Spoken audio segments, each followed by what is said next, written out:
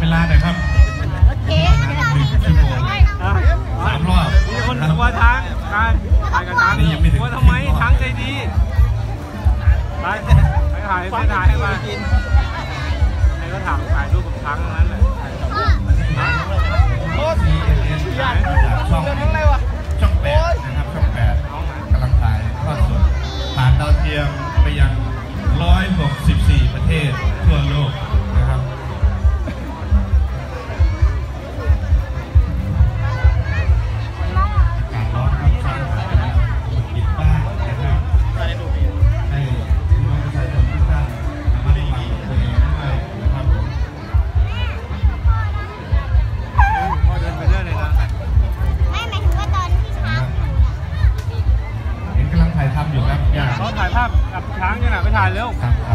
ดี๋ยวเดี๋ยวจะบอกมาถ่ายครั้งนี้นะครับ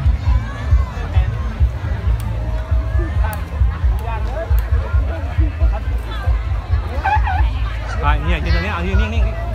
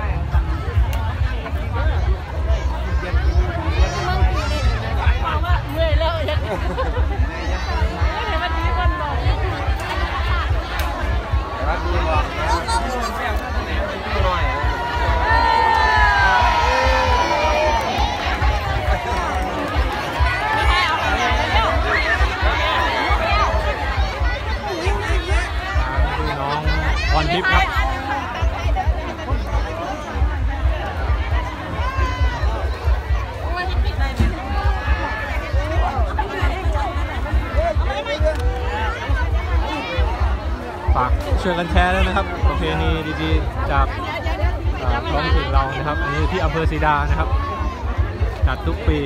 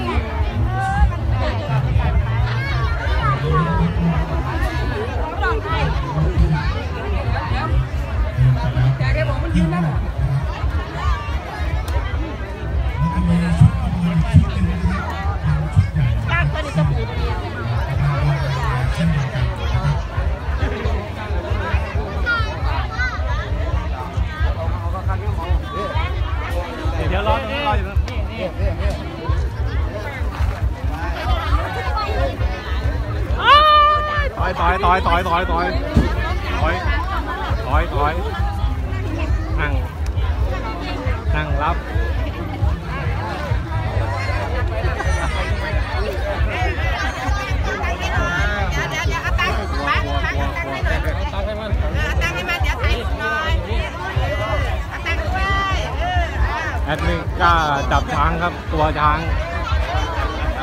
จับจับจับจับจับช้างโอ้ยจับช้างจับจับ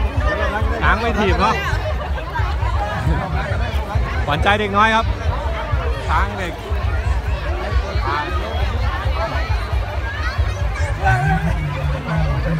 หันมาหันมาพี่ให้ช้างยังให้แล้วเหรอ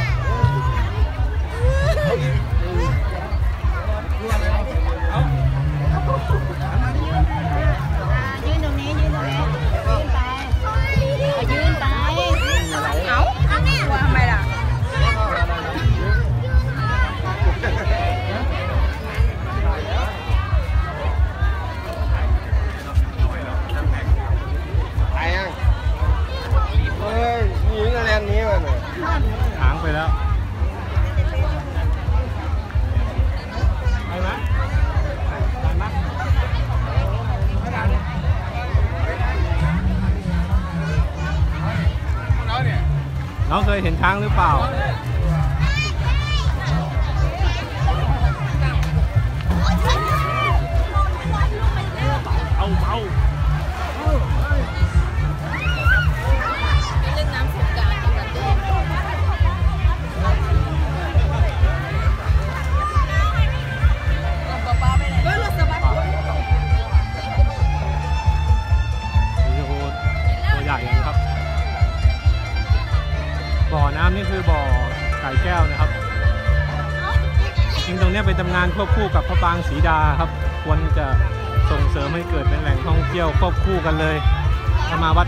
วัดพ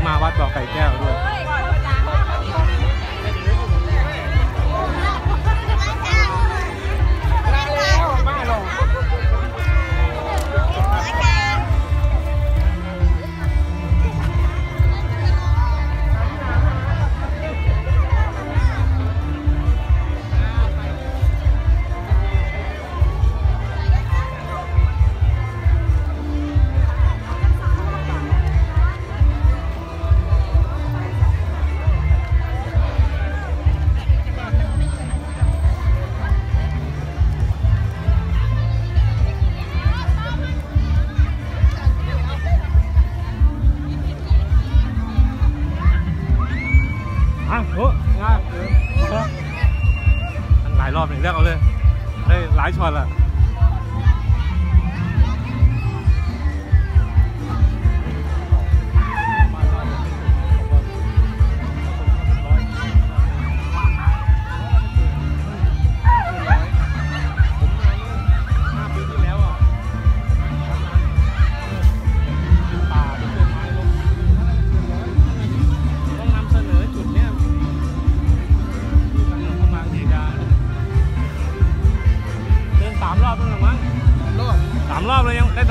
ได้พอรอบยังเนี่ยยังไม่ได้ทั้งรอบเลย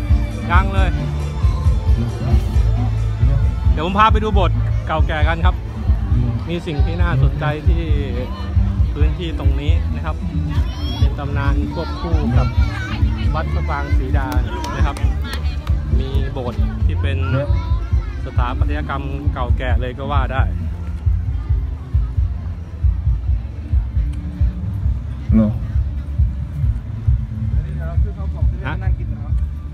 ต๊ะจีนนะครับทีนี้เป็นอ่ากินกินข่าวค่ำครับ เป็นจุดถ่ายรูปนะครับ ช่วงช่วงค่ำแก้วนะครับช่วงค่ำๆเขาจะมีครับนะครับ อันนี้เป็นเป็นเจดีครับ เป็นเจดีแต่สิ่งที่อยากนำเสนอเนี่ยคือตรงนี้ครัตบอนนี้เวลาก็จะใกล้ที่จะพี่น้องในพื้นที่สิบนาฬิกาแล้วครับ ไม่กล้าขึ้นไปติดไฟอะครับ จริงๆมี ทีมงานให้ขึ้นไปประดับ ประดับไฟบนยอดบนอะไรหึไม่กล้าไม่กล้าใช้ตะเกียงไม่กล้าเขาเขากลัว เก่าแก่มากพวกเนี้ยไหนใช้ตะเกียงเอาเอ็มร้อยห้าสิบใช่ไหมน้ำมันสียงน้ำมันนะครับเหมือนกับว่าจะแสดงแสงสีเสียงอะไรอย่างเงี้ย แต่ว่าสรุปก็คือใช้แค่สปอตไลท์ส่องสงสัยเราเดินใกล้ไปมั้งเนี่ยถ อยออกมาก่อน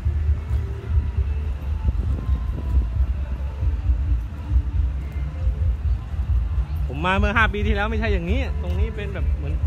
เป็นเป็นหนองลงไปแล้วก็ต้นไม้รกคึ้มนะครับ นี่ของโบราณเลยนะครับ ของโบราณเลย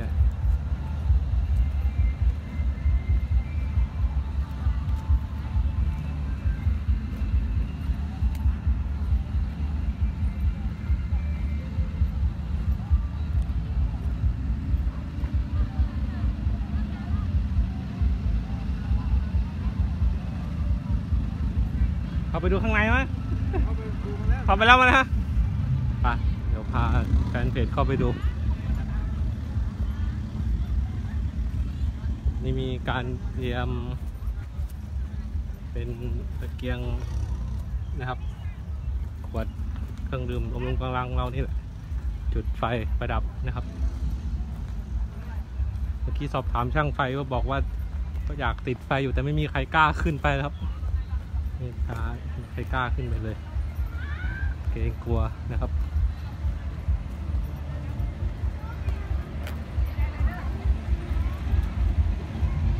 ครับ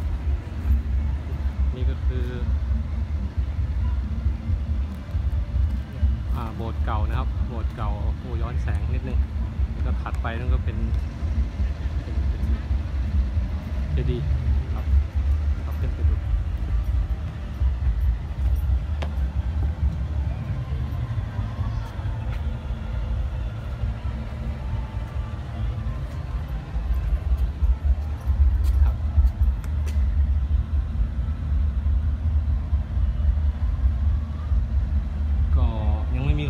จนนะครับว่าสร้างนานแค่ไหนอะไรยังไงนะครับ ก็บอกเล่าตามข้อมูลที่ชาวบ้านบอกมาอีกที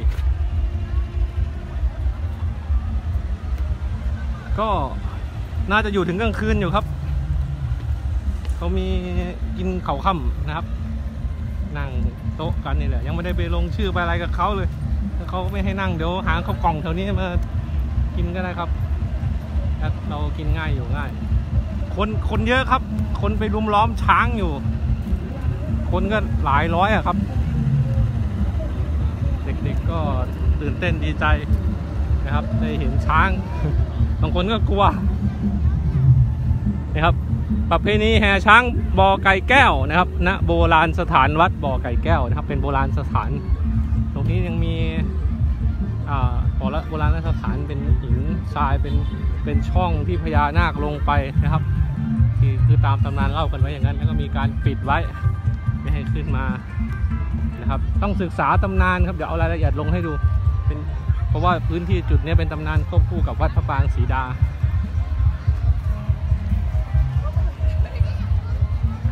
เอาทิมแล้วของมาถึงแล้วหึคนเยอะดิ ใจมหาชนมาอีกแล้วครับเ a วี่เอเลฟเฟน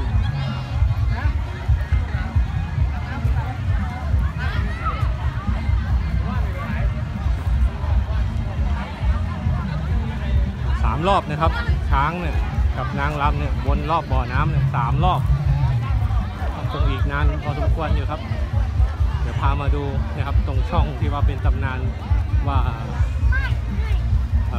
ญานาคลงไปแล้วก็ปิดไว้ไม่ให้กลับคืนมานะครับ คือพื้นที่ตรงนี้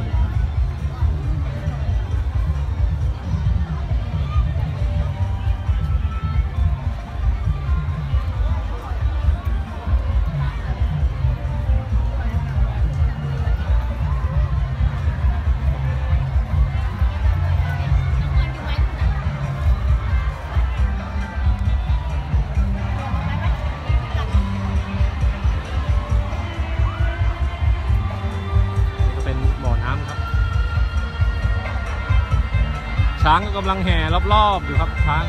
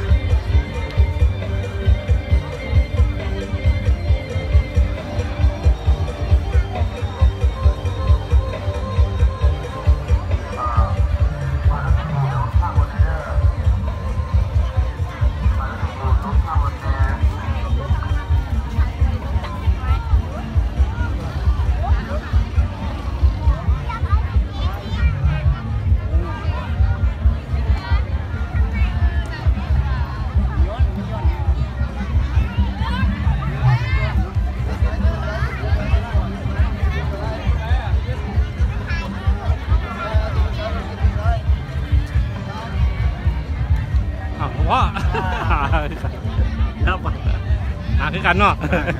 ครับ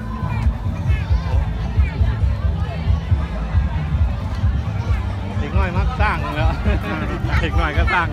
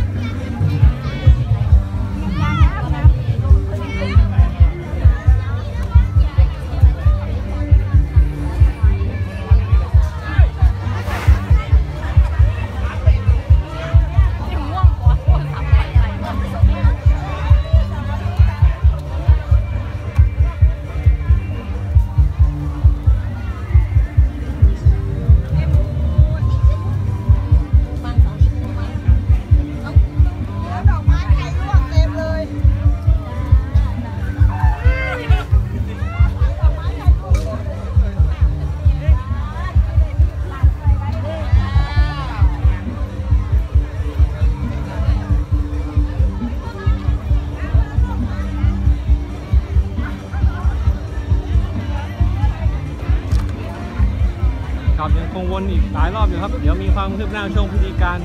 อื่นใดนะครับจะรายงานไปอีกครั้งหนึ่งครับผมเช่อกันแชร์ด้วยนะครับ รายงานสดจากสีดาครับ